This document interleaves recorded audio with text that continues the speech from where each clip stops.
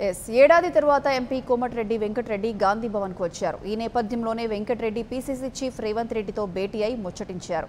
హాత్ సే హాత్ జోడో యాత్రపై చర్చించడానికి రావాలని ఇన్ఛార్జ్ పిలుపు మేరకు వచ్చానన్నారు ఎంపీ. తాను గాంధీ భవన్కు రావడం కొత్తేమీ కాదని గాంధీ భవన్కు రానని నేనెప్పుడూ చెప్పలేదని కోమటిరెడ్డి వెల్లడించారు. పంపమని చెప్పినా పంపుతాను.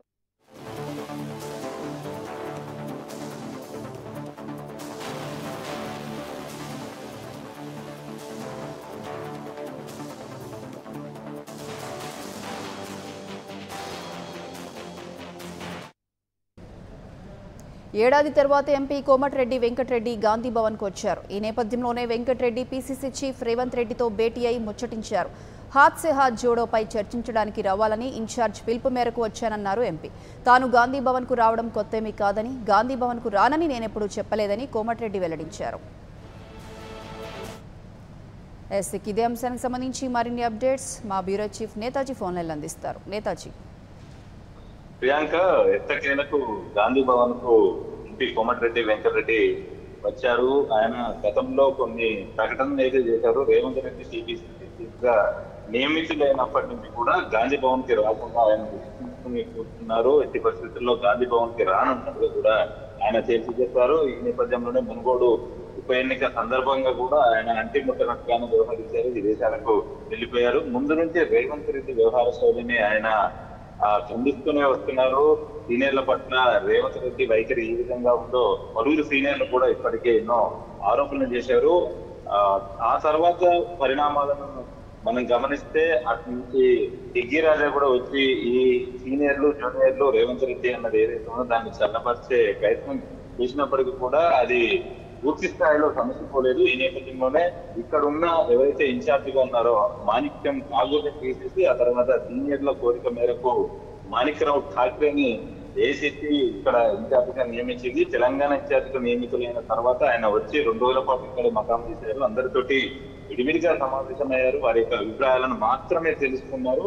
ఆ తర్వాత ఢిల్లీ వెళ్ళారు మళ్ళీ మూడు రోజుల పర్యటనలో భాగంగా ఆయన ఈ రోజే హైదరాబాద్ చేరుకున్నారు. అనంతరం అక్కడి నుంచి గాంధీ భవన్కు చేరుకున్నారు. ముందుగా ఆయన మూడు రోజుల ఈ ఏవైతే సమావేశాలు ఉంటాయో దానికి సంబంధించి ప్రస్తుతం తన ఆ, సమావేశాలను అయితే కొనసాగిస్తున్నారు. ఈ నేపథ్యంలో గాంధీ భవన్కి రాగానే రేవంత్ రెడ్డి తోటి కోమటిరెడ్డి వెంకరెడ్డి భేటీ అయ్యారు. రేవంత్ రెడ్డి కూడా అందరం కలిసి ముందుకు వెళ్దాం. ఏ ఒక్కరూ కూడా వేరే విధంగా అనుకోకూడదు. తెలంగాణలో కాంగ్రెస్ పార్టీని పరిష్కరించే ప్రయత్నం చేద్దాం. ఖచ్చితంగా మనందరం కలిసికట్టుగా పనిచేస్తే సమన్వయంతో పనిచేస్తే అధికారంలోకి రావడం పక్క అన్నట్టుగా ఆయన చెప్పే ప్రయత్నం అయితే చేశారు. భేదదాలకు మనం వెళ్ళొద్దు. ఏమైనా ఆ మనస్పర్ధలు ఉంటే అన్నిటిని క్లియర్ చేసుకుందాం అన్నట్టుగా అటు రేవంత్ రెడ్డి చెప్పారు. అలానే ఎవరైతే మాణిక్రావు ఠాక్రే ఉన్నారో మాణిక్రావు ఠాక్రే కూడా సమావేశమయ్యారు. ఈ సందర్భంగా ఆయన కూడా కొన్ని సూచనలు చేసినట్టుగా తెలుస్తుంది. ప్రస్తుతానికి అయితే వీరికి సంబంధించిన సమావేశం కొనసాగుతుంది.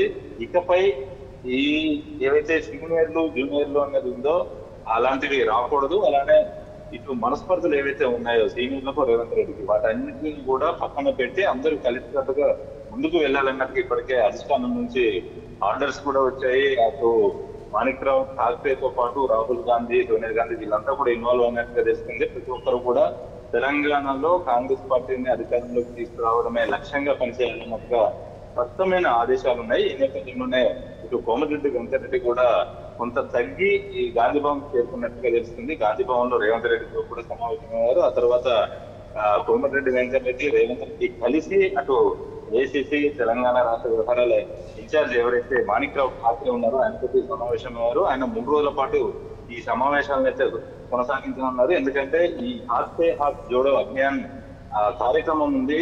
ఈ నెల ఇరవై ఆరు నుంచి రెండు నెలల పాటు ప్రతి ఒక్కరూ ప్రతి రాష్ట్రంలో భారత్ జోడో యాత్రకు అనుగుణంగా ఈ పే హాత్ జోడో అభియాన్ కార్యక్రమాన్ని చేపట్టాలని ఏసీసీ నుంచి ఆదేశాలు వచ్చిన నేపథ్యంలోనే దానికి సంబంధించిన కసరత్తు అయితే కొనసాగిస్తున్నారు. మూడు రోజుల పర్యటనలో భాగంగా ఆయన ఈ సమావేశాలను అయితే నిర్వహిస్తున్నారు. ప్రస్తుతం అయితే మాణిక్రావు ఠాక్రే అయితే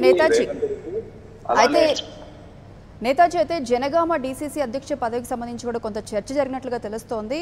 అప్డేట్ ఏంటి? అయితే డిసిసి పదవికి సంబంధించి చర్చ జరిగింది కానీ దానిపైన ఎలాంటి డిసిజన్ తీసుకోలేదు. అందరూ ఒకటే చెప్తున్నారు గతంలో ప్రకటించిన కమిటీలు ఏవైతే ఉన్నాయో దానికి సంబంధించి ఏమైనా ఆ, మనస్పర్ధలు ఉన్నా కూడా వాటన్నిటిని పక్కన పెడదాం. ఇంకా వలసవాదులు అసలైన వాదులు ఇలాంటివి ఏమీ ఉండకూడదు. మీరు ఎవరిని సూచిస్తే వారందరినీ కూడా కమిటీలోకి తీసుకునే ప్రయత్నం చేస్తామన్నట్టు ఇప్పటికే రేవంత్ రెడ్డి కూడా ప్రకటించారు. తన తనకి సంబంధించిన టీం కి ఈ పదవులను ఇచ్చారు అన్నట్టు ఏదైతే ఆరోపణలు వచ్చాయో ఈ నేపథ్యంలో పన్నెండు మంది తమ పదవులకు కూడా రిజైన్ చేశారు. ఇంకా ఎవరైనా మీరు సూచిస్తే వారికి ఖచ్చితంగా అవకాశం ఇస్తాం. ముందు నుంచి కాంగ్రెస్ పార్టీ కోసం కష్టపడి పనిచేసిన కార్యకర్తలు కావచ్చు నేతలు కావచ్చు ఎవరైతే ఉంటారో అంటే తమ నేతాజీ అంటే తమ మనిషి ప్రతాప్ రెడ్డికే ఆ పదవిని ఇవ్వాలంటూ కూడా కోమటిరెడ్డి తాకరేతో అడిగినట్లుగా తెలుస్తోంది. ఏమంటారు? అయితే ప్రతాప్ రెడ్డికి ఇవ్వాల్సిందిగా కోమటిరెడ్డి వెంకటరెడ్డి అడిగినప్పటికీ కూడా అధిష్టానమే నిర్ణయం తీసుకోవాల్సి ఉంటుంది. దీనికి సంబంధించి ఇంకా స్పష్టమైన హామీ మాణిక్రావు ఠాక్రే కూడా ఇవ్వరు. ఎందుకంటే ఏది ఏమైనా కూడా మల్లికార్జున ఖర్గే ఈ పార్టీకి సంబంధించి అధ్యక్షుడిగా నియమితులైన తర్వాత అన్ని ఆయన గమనిస్తున్నారు. ఎక్కడ ఎలాంటి కార్యక్రమాలు జరిగినా ఎవరు ఏ విధంగా వ్యవహరించినా కూడా ప్రతి ఒక్కటి ప్రతి ఒక్క అంశం కూడా తనకు తెలుసుకునే విధంగా ఒక టీం ఆయన నియమిస్తున్నట్టుగా ఇది ప్రస్తుతం ఈ ప్రతాప్ రెడ్డికి సంబంధించి కోమటిరెడ్డి వెంకటరెడ్డి అడిగినప్పటికీ కూడా ఈ విషయంలో ఆశించి వ్యవహరించాలన్న దృక్పథంతో ఆయన ఉన్నట్టుగా తెలుస్తుంది. ప్రస్తుతానికైతే వీరికి సంబంధించిన సమావేశం కొనసాగుతుంది. ఆ తర్వాత మూడు రోజుల ఈ పర్యటనలో భాగంగా మేనేజ్మెంట్ కమిటీ అలానే ఎవరైతే మిగిలిన కమిటీలు ఉన్నాయో ఆ కమిటీలు అన్నిటితో కూడా విడివిడిగా మాణిక్రావు ఠాక్రే సమావేశం కానున్నారు. Right Netaji thank you